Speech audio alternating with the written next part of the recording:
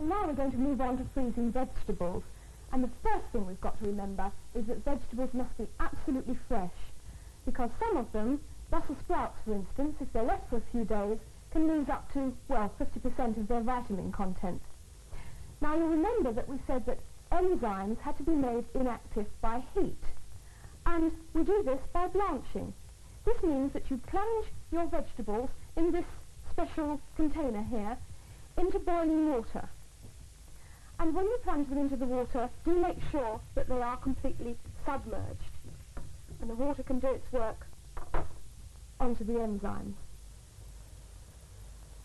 Now the length of time for blanching does vary, so if I were you, I'd try and get hold of a book which will give you the various timings. Now, once our vegetables are blanched, obviously they're going to be very hot, and we don't want to put them straight into the freezer because otherwise we'd raise the temperature, and that's the last thing we want to do.